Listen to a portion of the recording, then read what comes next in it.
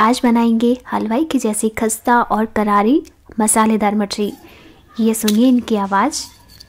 तो ऐसे ही मछली बनेगी घर पर। जब आप इसमें एक सीक्रेट इंग्रेडिएंट डालेंगे और वो आप वीडियो में आगे देखिएगा। तो चलिए शुरू करते हैं रेसिपी मसाला मछली बनाने के लिए सबसे पहले हम इसके लिए मसाला तैयार करेंगे।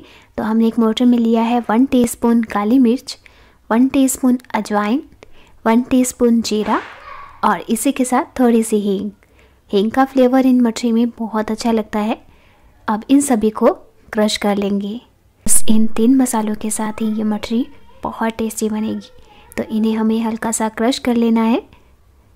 और बस मसाला बन करके तैयार है। अब एक बोल में हमने डेढ़ कप मैदा लिया है। आप चाहें तो आधा मैदा और आधा आटा भी ले सकते हैं। और इसी के साथ हम इसमें डालेंगे टू टेबल स्पून चावल का आटा।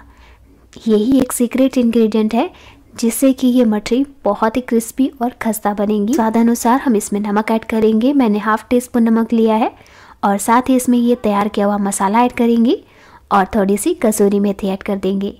और बस इन सभी मसालों को अच्छे से मिक्स कर लेते हैं। यहाँ पर हमने सभी को अच्छे से मिक्स कर लिया है और अब मोइन लगाएँगे।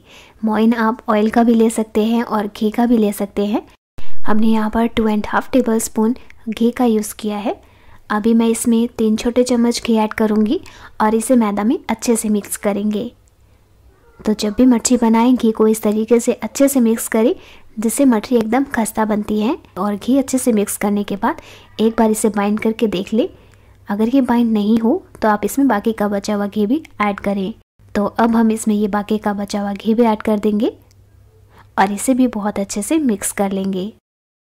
और अब हम इसे बाइंड करके देखते हैं। ये देखिए। ये मैदा बहुत अच्छे से बाइंड हो रहा है, यानी मोइन एकदम परफेक्ट है। तो अब हम थोड़ा थोड़ा पानी लेकर इसका एक टाइट डो लगा लेंगे। इन मछली को बनाने के लिए हमें एकदम सख्त डो लगाना है। तो टोटल हमने यहाँ पर वन थर्ड कप पानी का ही यूज़ किया है इस डो को लगाने के लिए। और ये देखिए, एकदम टाइट डो लग के तैयार है। ये देखिए, आटा बहुत सख्त है।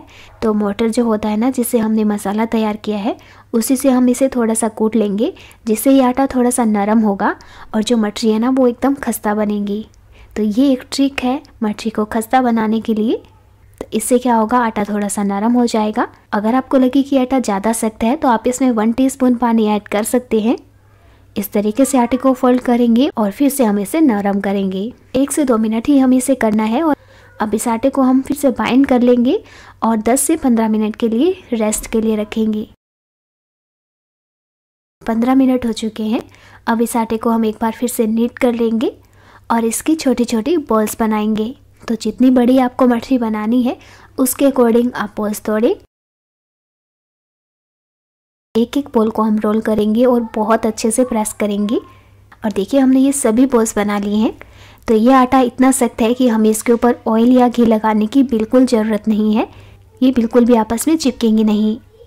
अब हम इनकी मर्ची बना लेंगे और इन मर्ची को बेलने के लिए हमें एक या दो बार ही बेलन चलाना है। इससे ज़्यादा हम बेलन नहीं चलाएँगे, वरना ये बहुत ज़्यादा पतली हो जाएगी।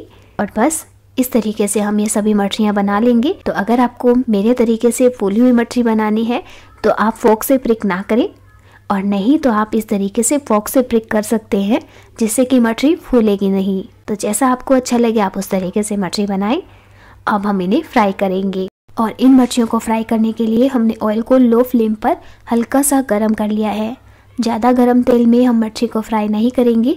ये देखिए, जब हम एक मछली डालेंगे तो ये धीरे से ऊपर आ रही है। तो बस इसी तरीके का गर्म ऑयल चाहिए। ज़्यादा हाई हीट पर भी हम इन्हें फ्राई नहीं करेंगे, वरना ये मछली खस्ता और करारी नहीं बनेगी, ये सॉफ्ट ही रहेंगी। तो इस बात का ज़रूर से ध्यान रखिए ऑयल हल्का सा गर्म हो, ये धीरे से उठकर ऊपर आए, और जब हम इन्हें फ्राई करेंगे ना तो फ्लेम को स्लो और मीडियम के बीच में ही रखेंगे। इस तरीके का गर्म तेल चाहिए इन मछलियों को खस्ता और क्रिस्पी करने के लिए। और जब ये सारी मछली ऊपर आ जाएँगी, तब हम इन्हें फ्लिप करेंगे। सभी मछली फ्राई हो चुकी हैं, ये ऊपर आ चुकी हैं तो अब इन्हें फ्लिप करते हुए इन्हें क्रिस्पी कर लेंगे और फ्लेम को हम स्लो टू मीडियम के बीच में ही रखेंगे, जिससे ये मछली एकदम क्रिस्पी रहेंगी। ये अब इनका कलर भी चेंज हो गया है।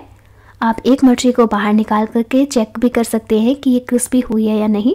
मछलियों को हम खुला करके रखेंगे 15 से 20 मिनट के लिए, जिससे ये थोड़ी और ठंडी होने के बाद इन्हें एयर टाइट कंटेनर में भरकर रख सकते हैं। ये बहुत ही क्रिस्पी और खस्ता मटरी बनी है। दीवार ज़रूर से बनाकर देखिएगा।